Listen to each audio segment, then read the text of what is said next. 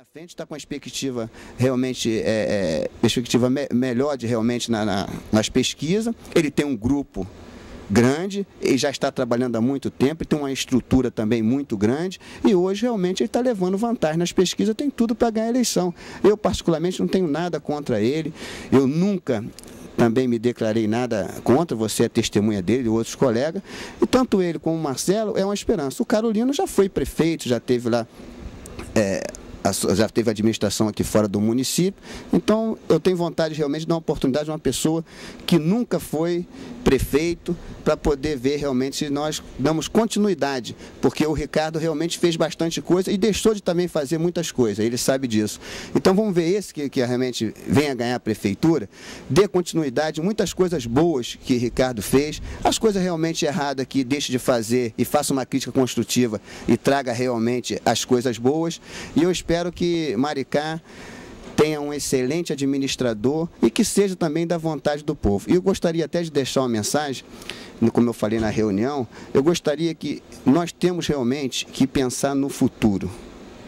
Mas antes de votar, não deixe de olhar o passado, porque um passado negro é um futuro na escuridão e um passado brilhante é um futuro de luz. Então pense bem nisso antes de vocês votarem. Vereador, a TVC é, vai acompanhá-lo né, numa viagem agora a Brasília e de repente nós vamos ter algum contato, algumas entrevistas lá com algumas autoridades.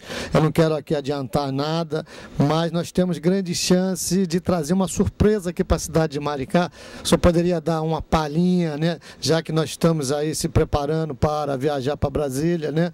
E lá nós sabemos que tudo pode acontecer, né? Já que estamos no coração do comando de uma nação, né? E o senhor, como tem um bom relacionamento com alguns senadores, com alguns deputados federais, inclusive eu mando aqui um abraço para o deputado Fernando Lopes, né? E para o deputado e para o senador Paulo Duque também, onde nós vamos nos encontrar com ele, e para o senador Dornelles também, né? É, será que o povo de Maricá pode de repente ganhar mais essa surpresa que tão desejada por eles, vereador? É, é, surpresa ou já pode falar? Não, melhor a gente Então, não, é, nós vamos junto. Né, eu tenho muito aqui que elogiar o presidente dessa casa, Paulo Maurício, que é um companheiro, um amigo. Eu já conhecia antes realmente de, de estar como vereador. E nós vamos junto com o Paulo. Vai eu, você, o presidente dessa casa. Também no gabinete, que você esqueceu do deputado é, Alexandre Santos, nós vamos passar por lá também. E nós temos uma surpresa muito boa que é para dar mais transparência ao legislativo. E foi realmente uma luta que eu tive, volto mais a vez dizer, com o apoio do presidente desta casa. E talvez na quinta-feira, na quinta, você realmente vai, o povo de Maricá vai ter uma surpresa muito grande. E essa surpresa é porque é para mostrar mais transparência para o povo do que está acontecendo aqui no Legislativo. Quer dizer, então de repente pode ser duas surpresas, né? Uma que a gente já pode falar, que é a própria é, TV Câmara, né? Que vai ser implantada aqui no município. E a segunda é que está guardada na caixinha de surpresa, porque ontem mesmo, é, lá na TVC, teve um ouvinte que perguntou né, sobre é, essa surpresa. E nós não comentamos nada sobre isso, porque sabemos nós que tudo pode acontecer nessa viagem que vai ser é, feita agora a Brasília. Né? E nós é, achamos melhor aguardar o, o que vai acontecer lá para que o próprio vereador, juntamente com o presidente do legislativo aqui da cidade de Maricá, possa ele mesmo é, dar essa notícia ao povo aqui da cidade.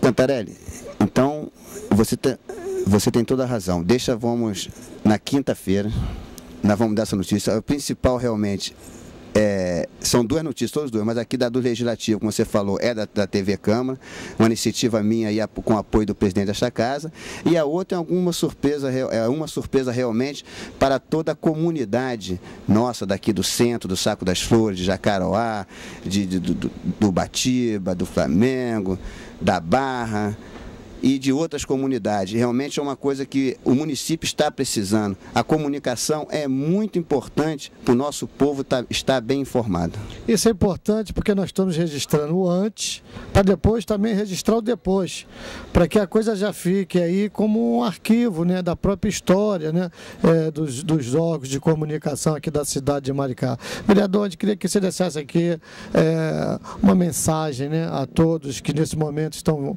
acompanhando essa entrevista. Eu gostaria de desejar a todos uma eleição tranquila, que me dê mais um voto de confiança a esse povo que sempre me ajudou, que eu também sempre tive ao lado realmente das pessoas, nunca abandonei nenhum companheiro. E espero no próximo mandato conseguir trazer mais obras e mais investimento para o nosso município e que o povo realmente tenha uma melhor qualidade de vida que nós estamos precisando e uma educação realmente mais atuante no nosso município. TVC, a TV mais perto.